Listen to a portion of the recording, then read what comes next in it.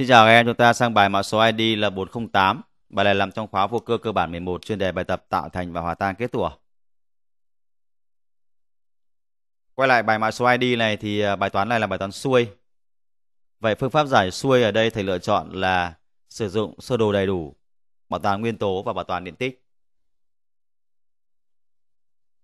Việc đầu tiên là thầy thống kê dung dịch thứ nhất với ion và số mol tương ứng. Dung dịch thứ hai tương tự như vậy.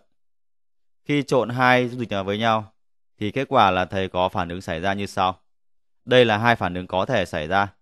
Phản ứng thứ nhất chắc chắn xảy ra rồi. Phản ứng thứ hai chỉ xảy ra khi mà H cộng dư mà thôi.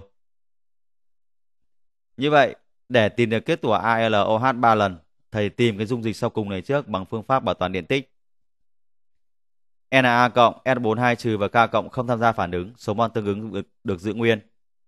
Khi kiểm tra thầy thấy điện tích âm lớn hơn điện tích dương, vậy suy ra phải tồn tại một ion dương, đó phải là ion Al3 cộng, không thể là ion AlOH4 lần trừ được. Dùng bảo toàn điện tích tìm ra Al3 cộng là 0,2 mol. Để tìm kết tủa này thầy dùng bảo toàn nguyên tố nhôm, thầy lấy 0,4 nhôm ban đầu trừ 0,2 nhôm ở đây đi thì sẽ bằng 0,2 mol kết tủa. Vậy khối lượng kết tủa của thầy sẽ bằng 15,6 gam. Đáp án thầy có là B.